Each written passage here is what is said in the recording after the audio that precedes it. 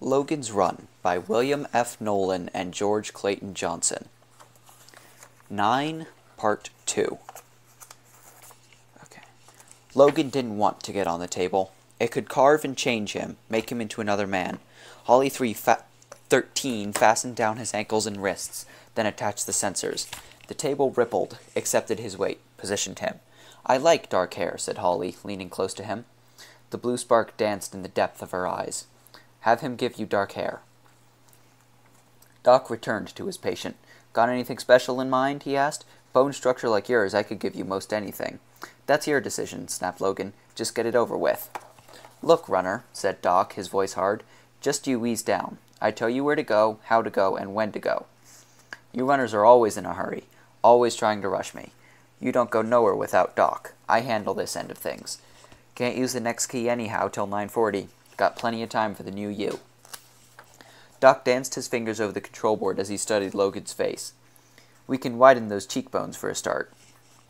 The table began to hum as a pair of thin silver probes separated themselves from the overhead cluster and poised above Logan. A stun needle lowered towards the fa his face. A vibrasaw began to keen. Abruptly, all motion ceased. The keening died. An alarm buzzed insistently. Doc's eyes narrowed. Something's wrong. We've got metal on the table. You empty your pockets? Logan nodded. Doc looked at him suspiciously. Something ain't right. He came out from behind the console, stood over Logan. The slight bulge of the gun was visible in Logan's waist. Doc pulled open his shirt, bearing the weapon. Lock the door, Holly. What is it? she asked, moving forward. Doc shoved her back. Gun, he said. We've got a Sandman. What'll we do? I'm thinking. Doc glared at Logan, helpless on the table. You've seen my hand, said Logan. I'm on last day. Does it figure I'd still be working for DS?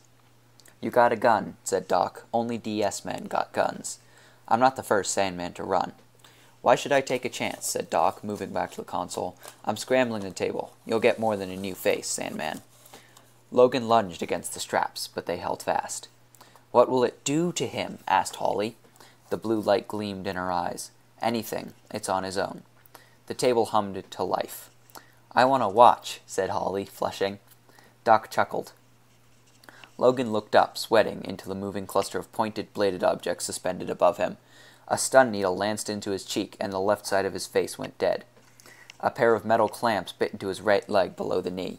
A surgical scalpel slit his shirt from shoulder to waist, leaving a thread of blood in its wake. A sponge dipped to wipe the blood neatly away. Desperately, Logan sucked in his belly and tried to flatten himself into the table. Beside him, Holly was breathing fast. A wide serrated blade shifted its downward sweep, moved three inches to the right, and hovered. A pair of nerve scissors snipped viciously at empty air, lowered abruptly, and sliced through the strap that confined Logan's right arm. Doc took a shock step back as Logan clawed the gun free. A rain of silver knives dropped towards him, and he hacked at them with the barrel. They snapped like icicles. Logan attempted to swing the gun in Doc's direction. Kill the table. Lizard quick, Doc was out the door, the girl behind him. The table pumped a cooling alcohol spray on Logan's chest as he clumsily freed his other wrist. Tiny lubricated gears inside the machine's housing slid into new positions. Logan sprawled the upper part of his body off the bed and hit the leg releases. He rolled from the table as it mindlessly attacked its own vitals. It died, shrieking, as sparks showered from the gutted machine. Logan considered his next move. Without another punch key, which Doc apparently was to supply, his run was over. And it wouldn't take a mouth like Doc long to spread word. Sandman. The trail would end before it began. He kicked the back door open and found himself in a dark, dank warren of intersecting hallways. The moaning cry of the fire galleys drifted up to him, mixed with the baked dessert smell of dream dust from the hallucin mills. Something iced out of the gray half darkness, knocking the gun from his grasp. A glacier numble, numbness chilled his arm from hand to elbow. Popsicle, spelled with a CK there. Logan spun into a fighting crouch to face dim, the dim white figure coming at him with the refrigerated police billy held at waist level. Doc, in for the kill. One blow to the chest and Logan's body would be a sea of ice crystals, freezing his hard action, stopping the breath in his throat. The gun lay on the floor, rimed with frost. He kept his eyes locked on the short, smoke colored stick in Doc's practice hand. The popsicle slashed air as Doc lunged past him. Logan twisted and fell to one knee in the classic Omnite attack position. His left elbow drove into Doc's groin. With a soundless, choked scream, Doc slammed against the wall, bouncing off into Logan's knee, which caught him with a killing spinal blow. Logan swore bitterly, stripping the dead man's pockets. I should have handled this without killing, he thought. Now, where's the next key? Has the girl got it? And where is she? Probably hidden somewhere in the arcade labyrinth. Logan retrieved the moist gun, straightening to a sound in the next room. He moved carefully to the door, easing it open. Holly was inside, against the far wall, a medical knife poised at her breast. Her terror glazed eyes were fixed on the gun. As Logan advanced towards her, she drove the blade into her chest. The world ended abruptly for Holly 13. Logan put away his weapon. Doyle? Doyle, is that you? A drugged voice. Logan stepped through an alumesh curtain. The cramped room reeked of anesthetic. A dark haired girl, nude to the waist, was rising groggily from a pneum- pneumocot. She blinked dreamily at Logan. It's me, Jessica, she said. Her fingers tentatively explored the new planes of her face. A runner, thought Logan.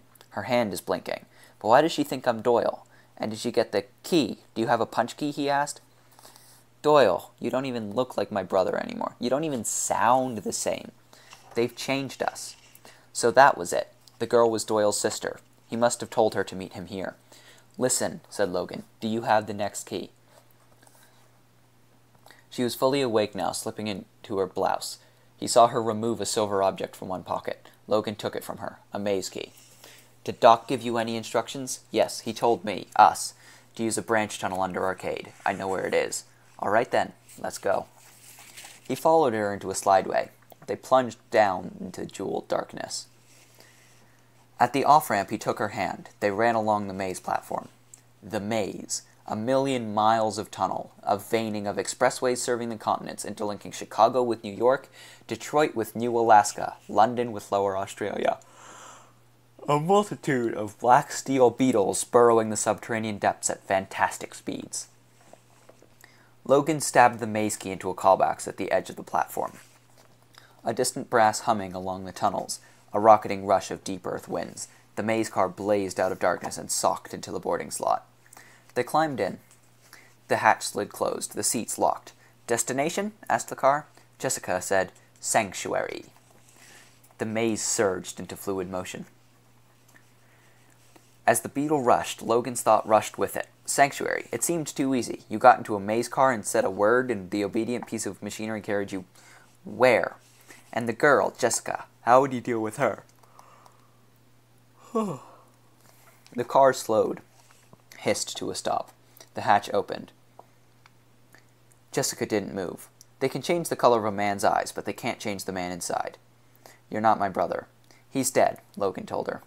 The girl's mouth tightened. You killed him. No, but I saw him die. He gave me his key. He wanted me to have it.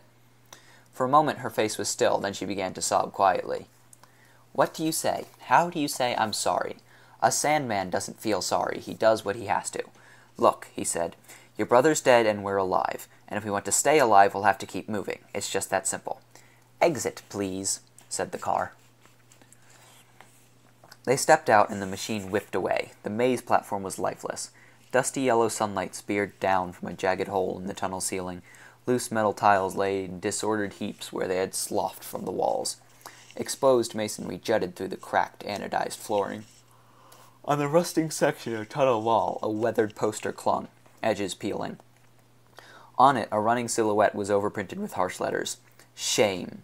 Directly under this, a vandal had chalked, Runners stink. A bent sign angled over the platform. Cathedral. And what now? Logan asked himself. Is this sanctuary? A shorted out section of city swarming with renegade cubs? Listen, Jess warned. A distant singing a faint rising and falling refrain echoing from an upper level. Logan ducked Jess into a wedge of shadow. They waited. Finally, Sandman, Sandman, leave my door. Don't come back here anymore. A high, childish treble coming closer. Cubs, said Logan. His eyes strained the darkness. Louder. Now I lay me down to pray. Sandman, Sandman, stay away. A small figure in a tattered blue garment walked into the circle of sun on the platform. A little girl of five. She was dragging something behind her. The child's face was grimed and hair tangled. Her scabbed legs were thin. She wore no shoes. She stopped singing. Don't be afraid, she said. I'm Mary Mary too. Logan stepped from the shadow. What are you doing here? Oh, he told me to meet you. Who did? The little girl's eyes saucered. Why, the old, old man, of course. Jessica gripped the sh child's shoulder. What old, old man? His hair is black and white, all mixed together, she told him. And he has deep places in his face, and he looks so wise. He's the oldest man in the world. Ballard! The little girl took a silver key from a torn pocket. He told me to give you this. Logan palmed the key. Do we use it now? This many, she said solemnly, raising her tiny hand, all ten fingers spread. In the center of her right palm, a yellow flower glowed softly. Ten o'clock, said Jess. Logan checked a wall cron above them. Twelve minutes. Jessica looked deeply into the waif's eyes. Where do you live, Mary Mary? She smiled. Here, she said. Why aren't you in a nursery? nursery? I'm very smart, said Mary Mary. But don't you get hungry? You can catch things to eat.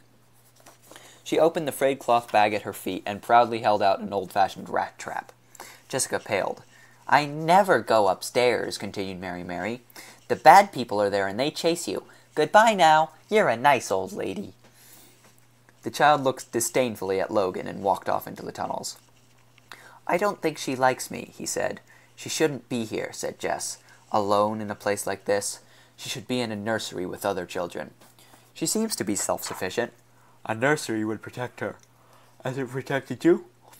Of course. No child under seven belongs on her own. I was happy in the nursery. Jess sat down on the platform edge with Logan. No, no, I wasn't happy. Her voice trembled.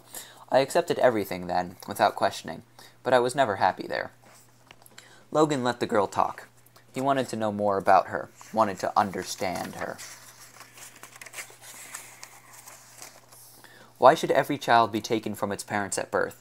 Why should a brother and sister be separated for seven years? She studied Logan's face. When did you begin to doubt, to question sleep? I'd like to know. I can't recall just when. I'd heard the stories, of course. Of Ballard? Yes, and the rest of it. About the sanctuary line. Oh, how I wanted to believe those stories when I first heard them as a little girl. Her eyes grew hard again. Do you ever wonder what your mother was like? Who she was? What she felt? How she looked? Do you think she'd be ashamed of what you've become? She may have been a runner too, said Logan evasively. I'll never know what she was. Jess frowned angrily. I think you should. I think children should know their mothers and be loved by them. Little Mary Mary should have a mother to love her. A machine can never love you. Only people can love people. Where did you work before you ran? he asked her. I was a fashion tech at Life Leather Trim. Three hours a day, three days a week. I hated it. Then why did you stay there? Because it was a job. What can, what can anyone really work at? You can paint or write poetry or go on a pair-up. You can glass dance or firewalk in the arcades. Her voice was scornful. You can breed roses or collect stones or compose for the tridims. But there's no meaning to any of it. I just... A scream from the tunnels. That was Mary Mary! Jess lunged forward, but Logan restrained her. Wait, he said. Here she comes. The child ran out of the darkness into Jessica's arms. The bad people! Bad, bad, bad! A howling group of Cub Scouts burst from the tunnel mouth to surround them. A strutting, feral-faced thirteen-year-old headed the pack. From the waist up, he was dressed in the blood-stained uniform of a DS man. Below the ripped black tunic, he wore sweat-darkened skin tights. Here now, and look what Charmin' Billy led you to, he smirked. Little rat trapper and two stinkin' runners. Mary Mary stomped her foot. You go on away, she demanded. This is my place. Go back upstairs. Charming Billy ignored her. Going to have us a time, we are. Logan measured the pack with his eyes. He could summon the car in another five minutes. How do you buy five minutes? He'd take out the blocky cub up to his right first, then go for Charming Billy if nothing else worked. He eased Jess and the child behind him. Logan looked at Billy. I feel sorry for you, boy. Confusion. The pack watched their leader. For me, better feel sorry for yourself, runner. No, for you, Billy. How old are you? Billy's eyes slitted. He didn't reply. Twelve? Thirteen? Now me, I'm as old as you can get. Logan slowly exposed his blinking time flower. And you, your days are running out. How long can you last, Billy? One minute gone. Two years? A year? Six months? He pointed to the blue flower glowing in Billy's palm. What happens when you go red? Got me a Sandman once, I did. They said I'd never get him, but I cut him up good, I did. Make the rules as I go. Cubs do what I say. Always have. Always will. I got Cathedral and I'll never let go. No cubs at 14, Billy. Ever hear of a cub with a red flower? You'll leave Cathedral then, Billy, when you're on red, because they won't let an adult stay here, the young ones. They'll gut rip you if you stay, so you'll cross the river, and then almost before you know it, Billy, you're 21 and your hand is blinking, and you'll die like a sheep. Two minutes gone. Not me, I won't, Billy shouted. I'll run, snapped Logan. Isn't that just what you do? Run as I'm running, as she's running? Shut up! Shut your damn mouth! I ain't no stinking runner. We're the same kind, Billy. You're just like us. Help us, Billy. Don't fight us. The blocky cub cut in. Let him suck muscle. That'll shut his mouth. Let us watch him shake himself to death. The anger and frustration drained from Charming Billy. He smiled. Logan tensed. The talking was done. Three minutes gone. Drug pads materialized. The cub squeezed the pads, inhaled the muscle. They shimmered into kaleidoscopic blurs, into weaving color patterns. Here, there, they were everywhere. Logan fell back into a fighting crouch, but before he could strike a blow, he was caught, dragged, and slammed against the wall. Screaming, Mary, Mary broke from Jessica and ran off down the tunnels. A staccato burst of words, the blocky club's voice. Give him some muscle. Shake him to death. Kill him. A drug, drug pad danced in the air in front of Logan's face. Four minutes gone. Logan held his breath. The fumes enveloped him. If he breathed, he felt the gun pressing into his thigh. The gun. Despite revealing himself to Jess, he'd have to use the gun. He wrenched his arms loose, dropped to the floor, rolled free of the weaving shapes, drew, and fired. The nitro charge exploded into the pack. Fragmented bodies littered the platform. Five minutes. Logan quickly pocketed a drug pad and key punched the call box. Jess stared at him with revulsion. Sandman! You're a Sandman!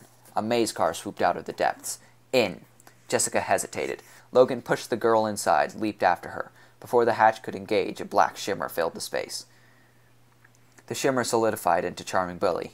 He was headless. The hatch shut. The maze car slammed into the night.